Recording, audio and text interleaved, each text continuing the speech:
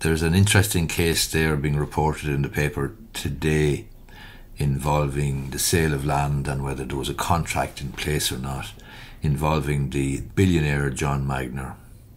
So John Magnier is of the legendary Coolmore stud fame and obviously well known in horse racing and horse breeding circles.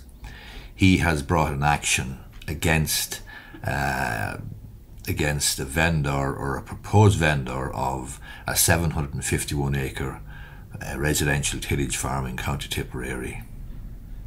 This case now has been admitted to the High Court Fast Track Division. He's claiming that uh, himself and his son uh, and his daughter in law um, intend, or the current owners of the particular estate, the Barne estate in Clonmel, intend to repudiate an agreement to sell the property.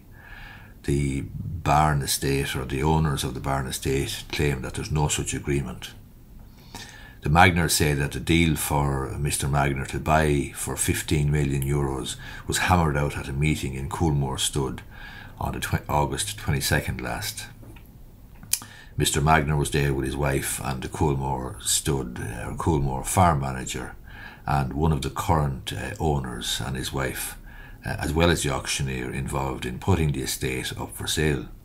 The Magniers say they understood the property was held on trust uh, owned by a, a Jersey registered uh, limited company.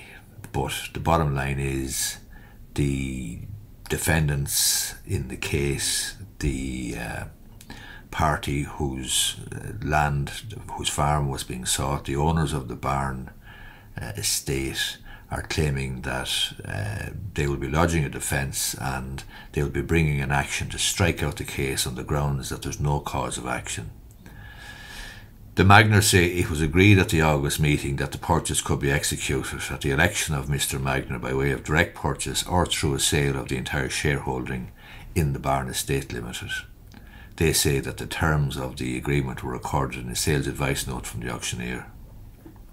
Anybody who knows anything about the sale or the legalities around the sale of real estate in Ireland know that the uh, there must be a memorandum in writing of the sale. Otherwise, uh, there probably isn't an enforceable contract. They claimed, or Magniers claimed that the existence of the sale agreement was acknowledged by the fact that Mr. Magnier was granted a tillage license to plough and sow some uh, 650 acres of the estate. There was also a deposit of 250,000 euros paid to the auctioneer, and Mr. Magnier, at the encouragement of the auctioneer, actually transferred the entire 15 million euros purchase price uh, to his solicitor's client account. Last month, the Magniers say that Barne Estate Limited indicated in correspondence from its solicitors that there was no binding agreement over the property. The Magniers seek a number of reliefs from the court, including a declaration that the Barne Estate and the Jersey shareholding companies are parties to a contract for the sale of the land or by way of a share purchase agreement. In the alternative, they seek an order for specific performance of the shareholding purchase agreement or the direct purchase agreement. And if necessary, they're also seeking an injunction restraining the shareholding companies from disposing of the land any student of land law, etc., will look at this case and probably have a view as to whether uh, Mr. Magnier has an enforceable contract or not and is likely to win his case. But the bottom line is that Section 51 of the 2009 Land and Conveyancing Law Reform Act uh, it sets out the minimum formalities for a legally binding real estate contract in Ireland. Firstly, the contract must be in writing. Section 51 specifically prohibits the institution of legal proceedings to enforce a contract for the sale of land unless the agreement is evidenced by a note or memorandum in writing. Furthermore, the contract should, at a minimum, recite the full description and tenure of the subject property, the consideration to be paid by the purchaser, and the names of the parties in the agreement.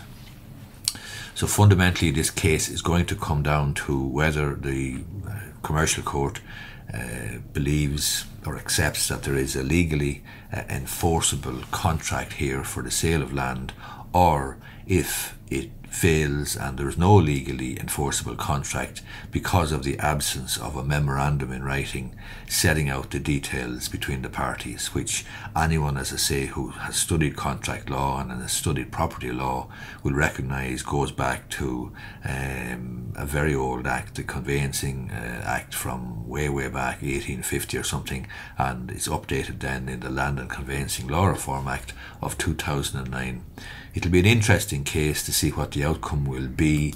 Obviously, there's a lot of money involved there, and the estate agent was involved or was there apparently at the meeting, and he uh, issued a sales advice note. But remember, when a sales advice note is issued by an estate agent, that's all only uh, an understanding from the estate agent of uh, the deal and the parties, etc., etc.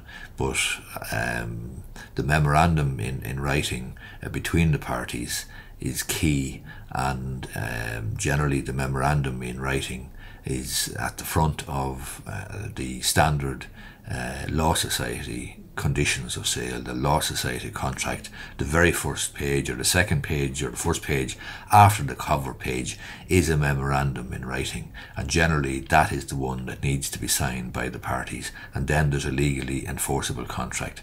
However, there's a complicating factor here insofar as there's shares involved. So I suppose there's an argument there that it's not just. Um, an action for the sale of land, it may be characterised as an action for the sale of shares, which might bring some different uh, considerations to the case. But Martin Hayden, Senior Counsel for the owners of the estate, uh, Barne Estate Limited, uh, he's looking for uh, to strike out the case on the grounds that there is no cause of action that'll be an interesting case. As I say, it's gone into the commercial court. Uh, maybe there'll be some sort of a deal concluded uh, at some stage or settlement or whatever. But as I say, it's an interesting case, and anyone who's an interest in law or property would be keeping an eye on this, um, but they'll be looking at the question of the memorandum in writing, uh, which is necessary for the formation of a binding, uh, enforceable contract for the sale of property in Ireland. Hope you find this useful. If you do, would appreciate if you gave it the thumbs up down below if you're watching on YouTube. And if you're listening to my podcast, the Irish Law and Small Business podcast on iTunes or on Spotify, I'd appreciate if you left a review. Um, thanks a lot.